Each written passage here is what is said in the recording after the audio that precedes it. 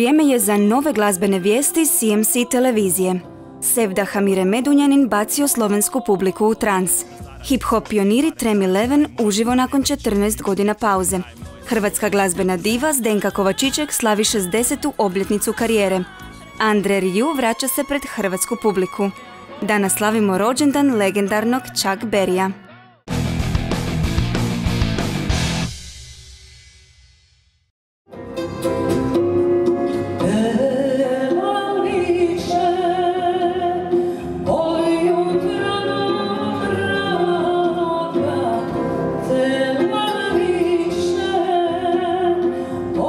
Nazivaju je bosanskom Billy Holiday. Ona pjeva Sevdahu potpuno novome ruhu. Na samom početku vijesti pogledajte i poslušajte kako je Amira Medunjanin u Ljubljanskom Cankarjevu domu digla publiku na noge.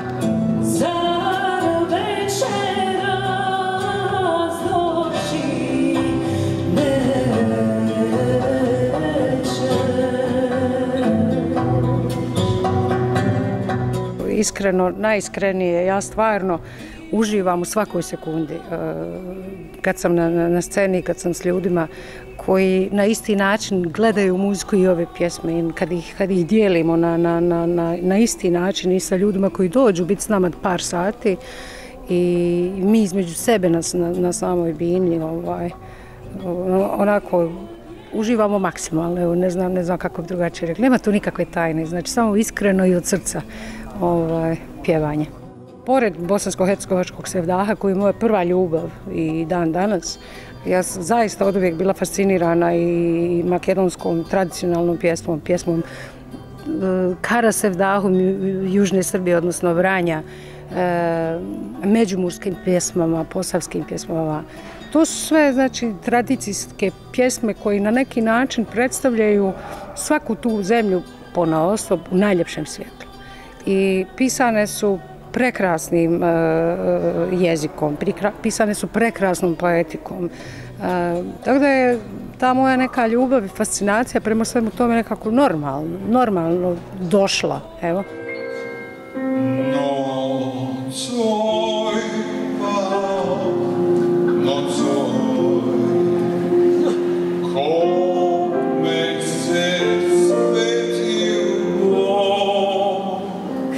Na koncertu se između ostalih našao i legendarni glumac, komičar i roker Branko Đurić Đuro, koji je publiku počastio svojim nastupom.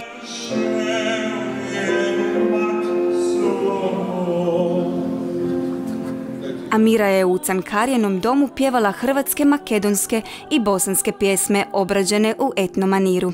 Njezin glazbeni izričaj i pristup muzici jedinstven je putokaz kroz zemlje regije sve vrijeme nekako pokušavam napraviti poveznice između, između tih muzičkih tradicija i nalazim jako puno stvari koje su koje se dodiruju, koje su slične, malte ne iste. Tako da e, ja uživam u tome. Znači, ja pjevat ćemo šta nam srce znao. Dakle, god da pjesma dolazi, ako dotiče dušu, ona je dobro došla. Da si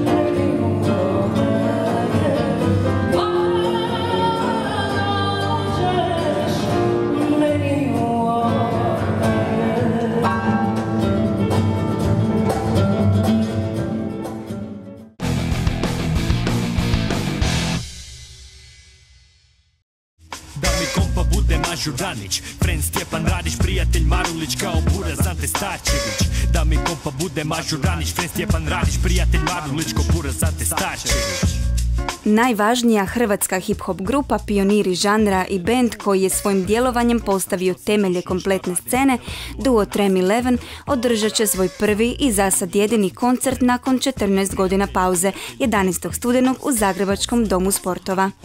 Povodom povratničkog koncerta Trem Eleven bit će objavljeno reizdanje njihovog prvog albuma Čovječe ne ljuti se.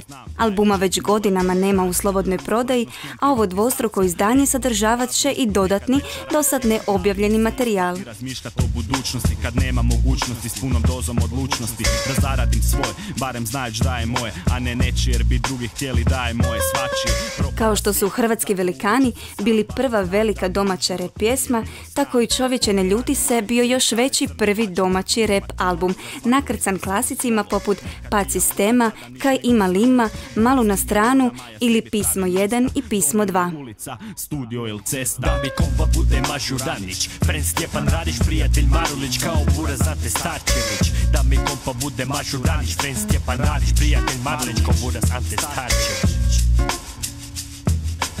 Jedan i jedan nisu dva, već jedanaest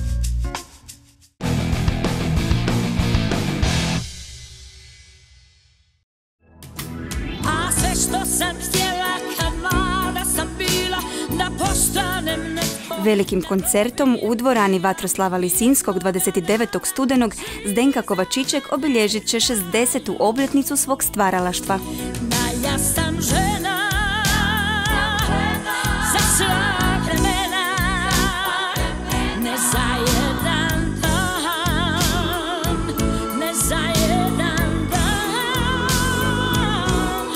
Zdenka svoju vokalnu karijeru započinje s 13 godina u duetu Hani, gdje pjeva zajedno s Nadom Žitnik. Nakon što se duet razišao, Zdenka nastupa po Europi u raznim klubovima, gdje je pjevala s mnogim poznatim glazbenicima i otkrila svoj talent prema džezu, solu i bluzu, a po povratku počinje suradnju s najboljim zagrebačkim džezerima Boškom Petrovićem, Miljenkom Prohaskom, Damirom Dičićem i mnogim drugima. Dijamantni glazbeni rođendan Zdenka će proslaviti pjesmama koje su obilježile njezinu karijeru, među kojima su i najpoznatiji hitovi poput Žene za sva vremena, ali i singlovi s iznimnih izdanja iz 70. i 80.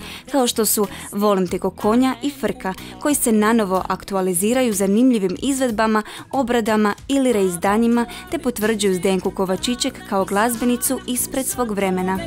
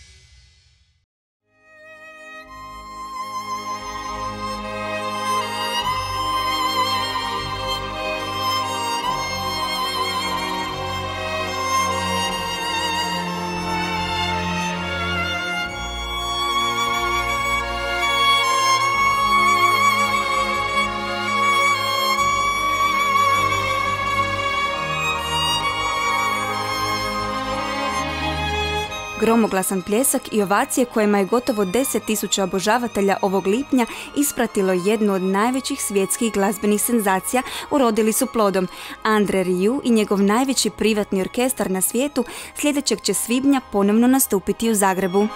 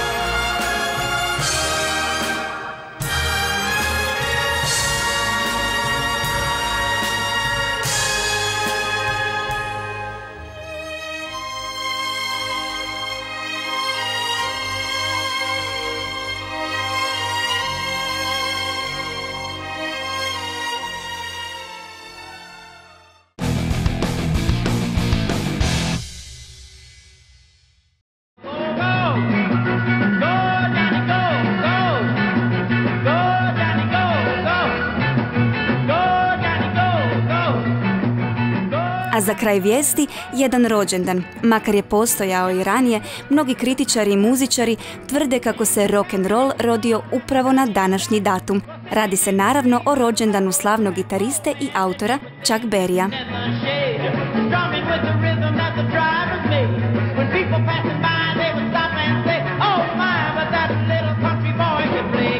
Chuck Berry bio je savršeno utjelovljenje svega što rock and roll znači, bilo dobro ili loše.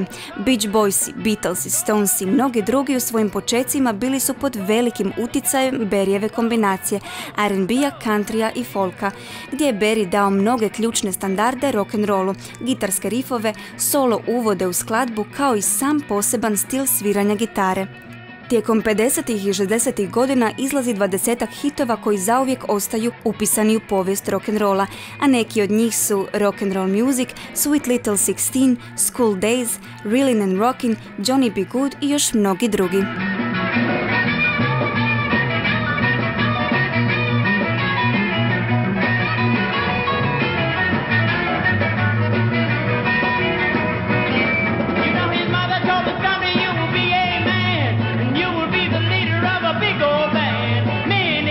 Coming from miles around. To hear you play